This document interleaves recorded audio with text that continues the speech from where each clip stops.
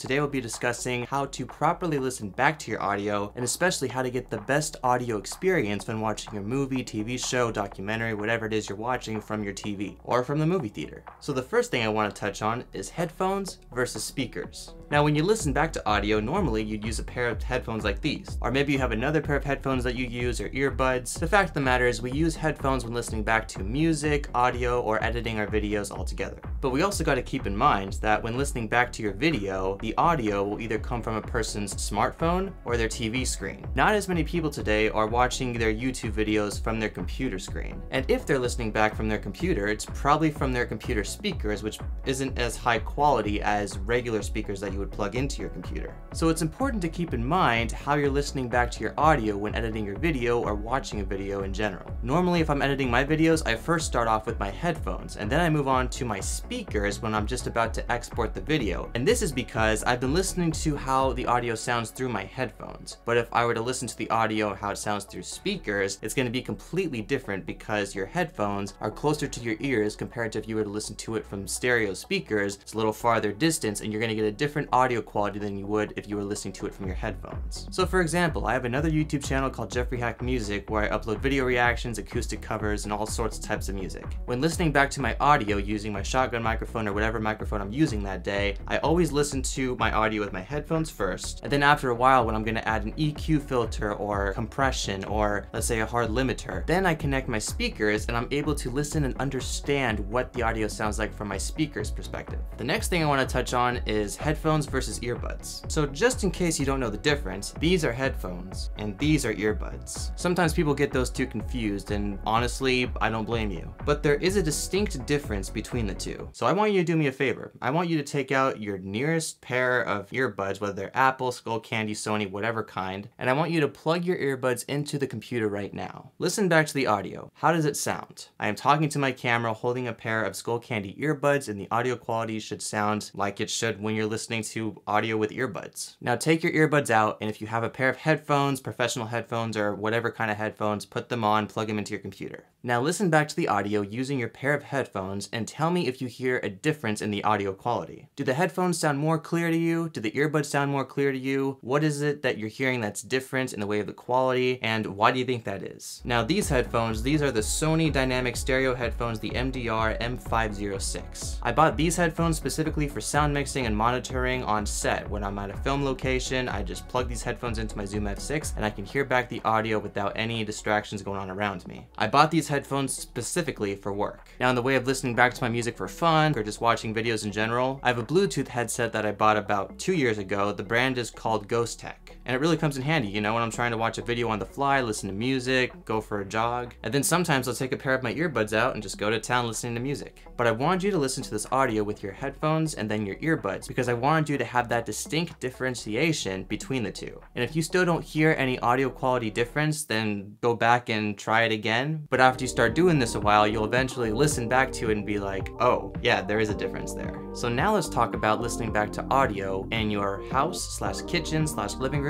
compared to the actual movie theater. Now, movie theaters are obviously designed for you to watch a movie with great audio quality, a great picture quality, and in movie theaters, they design the walls and the floors specifically for audio playback. What I mean by that is when you're watching a movie, you can hear the audio crisp and clearly, unless someone's dropped like a whole bunch of popcorn on the floor and the popcorn is interfering with the wave sound or the waveform of the noise coming at you in the movie theater. And because of this audio wave interference with popcorn, that's why movie theaters have hired ushers to clean up popcorn, hot dogs, or drinks off the floor when someone else is done watching their movie. And coming from a person who's ushered for Harkins Theaters before, let's give a round of applause to our usher team because they definitely go out of their way to make sure you guys have the best movie going experience. But yeah, with your movie theater, you're gonna have probably like 12 speakers around you, complete surround sounds, Dolby Atmos surround sound, and then when you're at home, that's a different scenario. So when you're listening back to your audio at home, watching a movie or TV show, you're probably listening back to it from your TV speakers. Because the majority of people who don't have speakers listen to it on their TV speakers. And the only problem with that is you're not getting the same audio quality from your TV speakers compared to if you had an actual speaker system set up in your house. For me personally, I have a 5.1 surround system set up at my house, so whenever I'm ever watching a Blu-ray movie or watching something on Netflix or Amazon Prime. I have my subwoofer turned on, I have my sound bar in the front, that's the middle speaker, then I have my right speaker, my left speaker, my rear speakers, and sometimes the 5.1 surround sound isn't there because it isn't mixed for that specific Blu-ray disc or the streaming um, video that you got off Netflix, Amazon. The audio has to be specifically mixed for that source. Now earlier today I was watching a YouTube video on microphones and I was watching it in my kitchen with my Roku TV. Now the only problem with this is I was listening back to the audio from my TV's speakers compared to if I were to listen back to the audio with my headphones or my speakers. The audio quality from the kitchen and listening back to the TV audio just it wasn't the same because you're one you're getting a lot of acoustic reverb in the way of uh, waveforms. The acousticness of the kitchen is sending a reverbish acoustic like sound to me and it's not going to sound the same as the way it was mixed in post-production so you can hear the audio the way it was intended for you to listen to it. So now that I've covered the different ways that we listen back to our audio, now I'm going to explain to you how to best listen back to your audio for these specific scenarios. If you're ever recording music, if you're on the field, obviously wear a pair of headphones, but wear a pair of your best headphones. In my case, I wear these headphones when recording literally anything inside my house. Out there on the field, recording my guitar, recording my musical instrument, recording my voice, because these headphones offer the best high quality sound and they have the greatest frequency response so I can listen to it back in post-production and find out what the actual audio it was intended to sound like for my viewers. Now of course if you're on the fly and you don't have any headphones to spare, you can always get a pair of earbuds. There's Apple earbuds, Skullcandy, Sony earbuds, like literally so many brands and companies make them, but definitely use those if you are just in need of any sort of audio source. As long as you can hear back the audio fine, you're good. And I'm saying wear the earbuds or headphones if you want a better audio experience. If you don't care about the audio, then don't even worry about it. Heck, you don't even have to watch this video. Now, when listening back to audio in your house, it is highly preferred that you, you know, get a 5.1 surround sound system. Of course, if you're on a tight budget, then you can just get two speakers, listen back to it at home. Try not to listen back to it on your TV speakers because that just won't give you the same quality as some high-end functioning speakers. Because let me tell you something, as a working professional sound mixer, audio matters so much. You are not gonna get that same experience watching a movie or TV show without that distinct audio quality.